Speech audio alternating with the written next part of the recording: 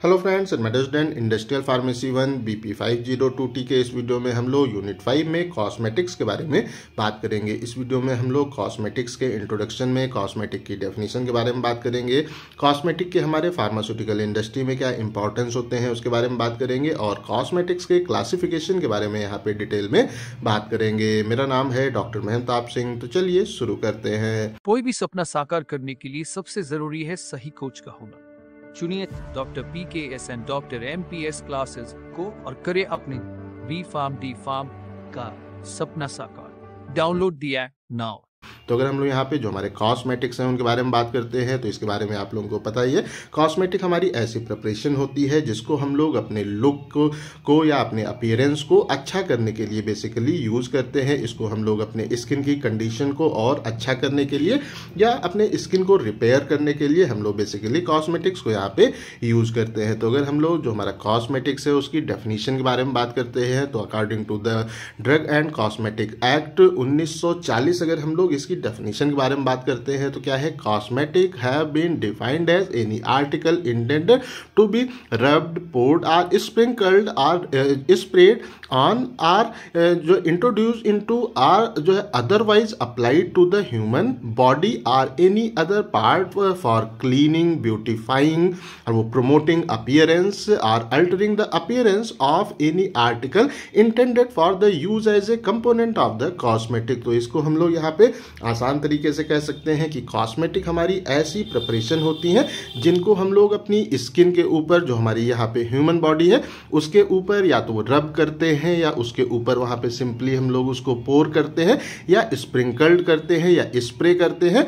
जो हमारी वहाँ पे, जो हमारी ह्यूमन बॉडी है, उसके ऊपर या उसके अंदर, या हम लोग उसको अपने, जो हम लोग उस प्लेस पे किसी और तरीके से अगर अपनी बॉडी के ऊपर सिंपली उसको अप्लाई करते हैं अपनी जो हमारी बॉडी है, उसको क्लीन करने के लिए, उसको वहाँ पे और जो है सुंदर करने के लिए, या जो हमारी बॉडी की अट्रैक्टिवनेस है, उसको और अच्छा वहाँ पे वो करने के लिए, या हमारे अपियरेंस को सिंपली अल्टर करने के लिए चेंज करने के लिए, अगर हम लोग उसको यूज़ करते हैं तो वो सिंपली हमारा कॉस्मेटिक यहाँ पे कहलाता है। और अगर कोई हमारा यहाँ पे कंपोनेंट है, जिसको हम लोग अपने कॉस्मेटिक के साथ में सिंपली यूज़ करते हैं, उसको भी हम लोग यहाँ पे कॉस्मेटिक कह सकते हैं। तो एक बार इसको फिर से आसान तरीके से देख लेते हैं कि जो हमारी ह्यूमन बॉडी है, उसके ऊपर या उसके अंदर, या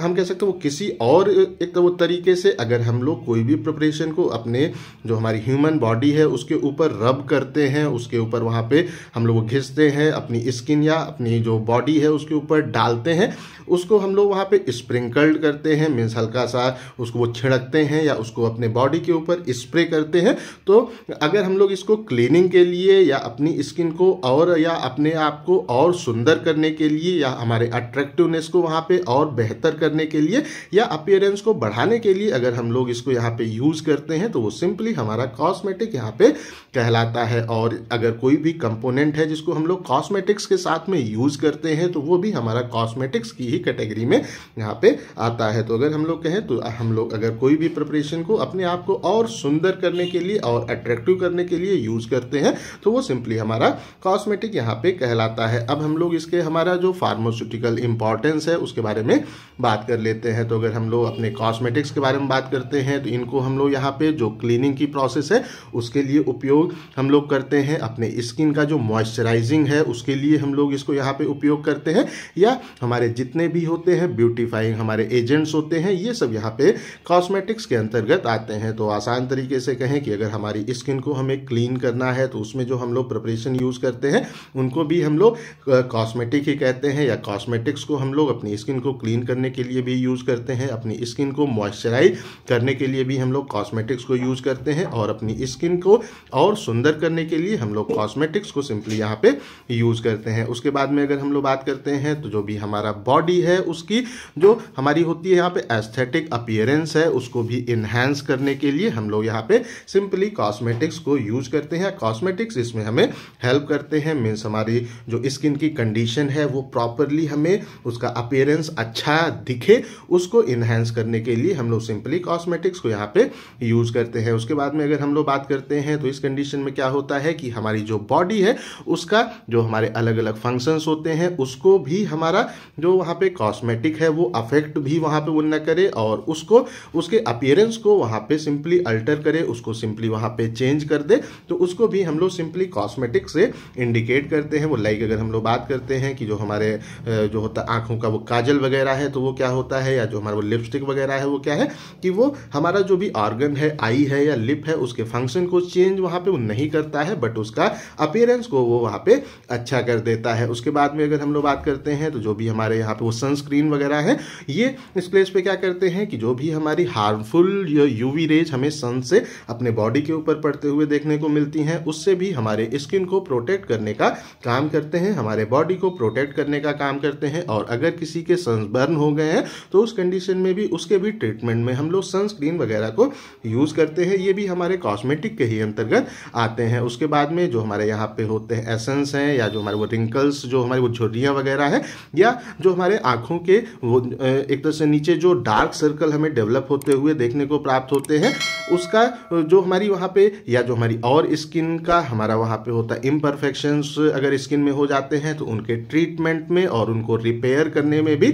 हम लोग कॉस्मेटिक प्रोडक्ट को सिंपली यहाँ पे यूज़ करते हैं। तो अगर हमारे स्किन में जो हमारी वो झुर्रियाँ है या जो हमारा एज का जो प्रभाव है हमारी स्किन पे देखने को मिलता है, आँखों के नीचे अगर कालापन आना स्टार्ट हो जाता है या हमारी स्किन वहाँ पे हमें परफेक्टली देखने को नहीं मिलती है तो उस कंडीशन में, उस कंडीशन को ट्रीट करने में या अपनी स्किन को रिपेयर करने में भी हम लोग कॉस्मेटिक्स को यहाँ पे यूज़ करते हैं। और हमारे जो कॉस्मेटिक हैं, ये हमारे स्किन के जो इन्फेक्शंस वगैरह हैं, उनको भी, उनके भी ट्रीटमेंट में हम लोग कॉस्मेटिक्स को यहाँ पे बेसिकली यूज़ करते हैं। तो अगर हम लोग जो भी हमारे कॉस्मेटिक प्रिपरेशन है उनकी जो हमारी मैन्युफैक्चरिंग लेबलिंग या सेल्स है उसके बारे में बात करते हैं तो ये हमारा जो जो होता है वो ड्रग एंड हमारा कॉस्मेटिक एक्ट है जो कि हमारा ये हमारा ड्रग एंड कॉस्मेटिक एक्ट 19 जो 40 है वो इसको इन, इंडिया में अगर बात करें तो यहाँ पे कॉस्मेटिक्स का मैन्युफैक्चरिंग लेबलिंग और सेल्स को कंट्रोल करने की जो हमारी अथॉरिटी है वो ड्रग एंड कॉस्मेटिक एक्ट 1940 यहाँ पे है और इस एक्ट का जो हमारा मेन यहाँ पे मोटिव है एम होता है कि जो भी हमारे हार्मफुल हमारे हेल्थ के लिए जो हार्मफुल जो इफ़ेक्ट हैं, जो कि कॉस्मेटिक से हमें देखने को मिल सकते हैं, उसको सिंपली यहाँ पे प्रिवेंट करने के लिए हम हर किसी चीज़ को कॉस्मेटिक की तरह उपयोग नहीं कर सकते हैं। हम केवल उनको ही उपयोग कर सकते हैं जो कि हमारे लिए हार्मफुल न हो तो हमारे ऐसे कंपोनेंट को की जो हमारी मैन्युफैक्चरिंग है लेबलिंग है या सेल्स है, उसको कंट्रोल करने का जो हमारी अथॉरिटी है, वो हमारा ड्रग एंड कॉस्मेटिक एक्ट 1940 के अंतर्गत यहाँ पे होता है। अब हम लोग यहाँ पे कॉस्मेटिक्स के क्लासिफिकेशन के बारे में बात कर लेते हैं। तो अगर हम लोग कॉस्मेटिक के, जो हमारे प्रोडक्ट है, उनके क्लासिफिकेशन के बारे में बात करते हैं तो इसमें जो हमारा कॉस्मेटिक है, उसको हम लोग बेसिकली चार क्लास में यहाँ पे क्लासीफाई करने का काम करते हैं। इसमें जो हमारा सबसे पहला क्लास है, वो है हमारे स्किन कॉस्मेटिक्स उसके बाद में हमारा है हेयर के जो कॉस्मेटिक है, वो यहाँ पे आते हैं। उसके बाद में हमारा जो नेल के कॉस्मेटिक्स हैं, वो यहाँ पे अलग जो कैटेगरी है, उसमें है। और अगर हम लोग जो हमारे कॉस्मेटिक जिनको हम लोग अपने बॉडी की हाइजीन को मेंटेन करने के लिए यूज़ करते हैं, वो हमारा इसका चौथा क्लास है। तो अगर हम लोग यहाँ पे जो हमारे स्किन कॉस्मेटिक्स हैं, उनके बारे में बात करते हैं तो ये अगेन हमें चार क्लास में यहाँ पे डिवाइड होते हुए देखने को मिलते हैं। इसमें हमारे स्किन की जो क्रीम है, वो हमारी अलग क्लास है। जो हमारे स्किन के पाउडर्स वगैरह होते हैं, वो हमारी अलग क्लास है। जो हमारे स्किन के अलग अलग प्रकार के कलर्स हैं, वो भी यहाँ पे एक हमारी अलग क्लास है। और जो हमारा होता है, वो सनस्क्रीन प्रोडक्ट है, वो भी हमारा एक यहाँ पे अलग क्लास स्किन कॉस्मेटिक्स में होता है। तो अगर हम लोग स्किन क्रीम्स के बारे में बात करते हैं तो इसमें जो हमारी यहाँ पे वो होती है वो क्लिनजिंग या जो हमारी यहाँ पे कोल्ड क्रीम है, वो एक हमारा इसका क्लास होता है। उसके बाद में जो हमारी होती है यहाँ पे कह सकते हैं फाउंडेशन या जो हमारी यहाँ पे होती है वैनिसिंग क्रीम वो एक इसका हमारा इस प्लेस पे क्लास है, जो हमारा यहाँ पे होता है नाइट और हमारे जो मसाज वगैरह की क्रीम है, वो भी हमारे कॉस्मेटिक क्रीम के अंतर्गत आती है। और उसके बाद में अगर हम लोग यहाँ पे बात करते हैं तो हमारे हैंड और जो हमारा होती है बॉडी की क्रीम्स वगैरह, वो भी हमारे यहाँ पे स्किन क्रीम के अंतर्गत आती है और जो हमारी ऑल पर्पज क्रीम है, वो भी हमारे स्किन क्रीम के अंतर्गत यहाँ पे सिंपली आती है। उसके बाद में अगर हम लोग जो पाउडर्स हैं, उनके बारे में बात करते हैं तो ये हमारा जो फेस के पाउडर हैं, वो एक हमारी यहाँ पे क्लास है। उसके बाद में जो हमारे होते हैं वो बेबी पाउडर्स हैं, वो हमारी इसकी यहाँ पे अलग क्लास है। उसके बाद में जो हमारे कॉम्पैक्ट पाउडर्स वगैरह हैं, वो भी हमारा यहाँ पे स्किन कॉस्मेटिक्स में पाउडर के अंतर्गत आते हैं। उसके बाद में अगर हम लोग स्किन के जो हमारे यहाँ पे कलर्स हैं, उसके बारे में बात करते हैं तो जो हमारे स्किन के यहाँ पे वो कलर्स हैं, उसमें हमारा जो होता है लिपस्टिक वो एक क्लास है, और जो हमारे यहाँ पे होता है वो रज वो भी एक यहाँ पे सिंपली एक क्लास है तो अगर हम लोग जो हमारा इस प्लेस पे होता है, वो रज, उनके बारे में बात करते हैं तो यहाँ पे जो हमारा होता है, यहाँ पे पाउडर एंड जो हमारे कॉम्पैक्ट हमारे होते हैं, वो रचेज वो एक क्लास में आ जाता है। हमारा जो होती है एनहाइड्रस क्रीम वो हमारे इसके अंतर्गत आ जाती हैं। हमारा जो यहाँ पे इमल्सन की क्रीम है, या हमारे जो यहाँ पे होते हैं लिक्विड हमारे वो रजेज है, ये भी हमारा एक यहाँ पे सिंपली इसकी क्लास होती है। उसके बाद में अगर हम लोग जो हमारे यहाँ पे सनस्क्रीन प्रोडक्ट है, उसके बारे में बात करते हैं तो इसमें हमारा जो एंटी हमारा वो सनबर्न यहाँ पे प्रोडक्ट है, वो इसके अंतर्गत आते हैं। हमारा जो यहाँ पे वो सन टोन प्रोडक्ट होते हैं, उस, वो भी हमारे इसके अंतर्गत आते हैं। मीन्स जो स्किन हमारी जो जो धूप में यहाँ पे काली हो जाती है तो जो हमारे वो सन के कारण जो स्किन में टोन आता है, उसको ठीक करने के लिए प्रोडक्ट जो है, उसको हम लोग यहाँ पे जो हमारा वो सन होता है, वो टैन प्रोडक्ट है, उसके नाम से इंडिकेट करते हैं। उसके बाद में अगर हम लोग हेयर कॉस्मेटिक्स के बारे में बात करते हैं तो जो हमारा यहाँ पे इस प्लेस पे हेयर के कॉस्मेटिक्स हैं, अगर उनको देखें तो इसमें हमारा जो शैम्पूज हैं, वो आ जाते हैं। हमारे जो यहाँ पे होते हैं हेयर टोन्स हैं, वो इसके अंतर्गत आते हैं। हेयर के जो हमारे कलर्स हैं, वो यहाँ पे आते हैं। हेयर जो हमारे ग्रोथ के जो ऐड है, ऐसी चीज़ें जो कि हेयर को ग्रो कराती हैं हेयर की ग्रोथ को प्रमोट करती हैं, वो भी हमारे इसके अंतर्गत आती हैं। और हमारे हेयर का जो हमारा वो रिमूवर है, वो भी इसके अंतर्गत यहाँ पे सिंपली आते हैं। उसके बाद में अगर हम लोग जो हमारे नेल कॉस्मेटिक्स हैं, उनके बारे में बात करते हैं तो इसमें हमारा जो होता है वो नेल हमारा वो लेक्वर है या जो हमारा नेल पॉलिश वगैरह है, वो इसके अंतर्गत आता है और हमारा यहाँ पे वो नेल जो हमारा पॉलिश का रिमूवर होता है, वो भी हमारा नेल कॉस्मेटिक्स के अंतर्गत आता है। उसके बाद में अगर हम लोग जो कॉस्मेटिक हैं, जिनको हम लोग हाइजीन के लिए यूज़ करते हैं तो अगर उनके बारे में बात करते हैं तो इसमें हमारा जो यहाँ पे वो डेंटल केयर हमारी प्रिपरेशन हैं, वो आती हैं, हमारे टूथपेस्ट वगैरह इसके अंतर्गत आते हैं और हमारे जो बाथ के प्रोडक्ट हैं, जो कि हम सोप वगैरह उपयोग करते हैं वो सब इसके अंतर्गत आते हैं। तो ये हमारे जो कॉस्मेटिक्स हैं, उनके सिंपली हमारे सिंपली क्लास होते हैं। तो इसमें जो भी मैंने चीज़ें यहाँ पे वो ग्रीन से इंडिकेट की हैं, वो आप लोगों का जो सिलेबस है, उसमें आप लोगों को पढ़ना है। तो आप लोगों का जो कोल्ड क्रीम है, ये भी आप लोगों का जो सिलेबस है, उसमें है। इसमें हम लोग कोल्ड क्रीम का जो हमारा फार्मुलेशन है इंट्रोडक्शन है प्रिपरेशन है, उसके बारे में आगे के वीडियोज़ में बात करेंगे। जो हमारा यहाँ पे वैनसिंग क्रीम है, ये भी आप लोगों के सिलेबस में है।